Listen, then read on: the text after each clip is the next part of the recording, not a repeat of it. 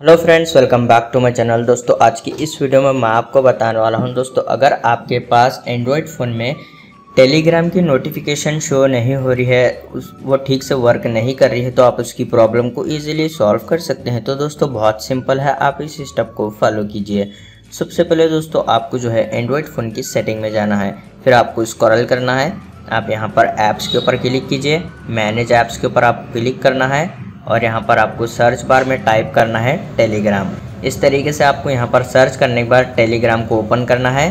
फिर आपको यहाँ पर क्लियर कैचे के ऊपर क्लिक करके ओके कर देना है। उसके बाद दोस्तों, आपको जो है ऐप परमिशन में आना है। फिर आपको यहाँ पर सारे परमिशन को अलाउ कर देना है। तो जैसे कि आप यहाँ पर देख सकते हैं, आपको इस तरीके से यहाँ पर सारे परमिशन को अलाउ कर देना है। फिर आपको बैक आना है।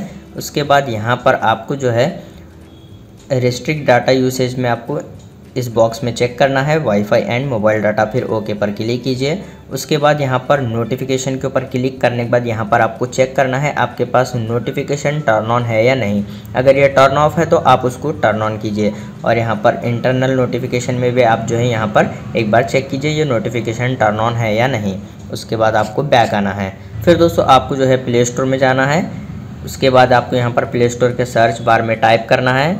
टेलीग्राम, इस तरीके से उसके बाद आप जो है यहाँ पर देख सकते हैं, मेरे पास टेलीग्राम ऐप का अपडेट शो हो रहा है। आपके पास भी टेलीग्राम ऐप अपडेट शो हो रहा तो आप उसको अपडेट कीजिए। आपके पास Telegram app up to date होना चाहिए। उसके बाद आपको फिर से एंड्रॉयड फ़ोन की सेटिंग में जाना है। उस, उसके बाद आपको यहाँ पर स्क्रॉल करना है। फिर आप यहाँ पर देख सकते हैं साउंड एंड वाइब्रेशन आप इस पर क्लिक कीजिए।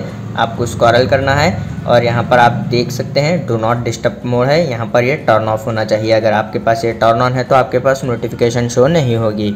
उसके बाद आप फ़ोन को एक बार रिस्टार्ट कीजिए। प्रॉब्लम सॉल्व हो जाएगी। उम्मीद है आपको वीडियो पसंद आया तो प्लीज़ लाइक कर देना और इसी तरह के वीडियोस देखने के लिए चैनल को सब्सक्राइब कीजिए।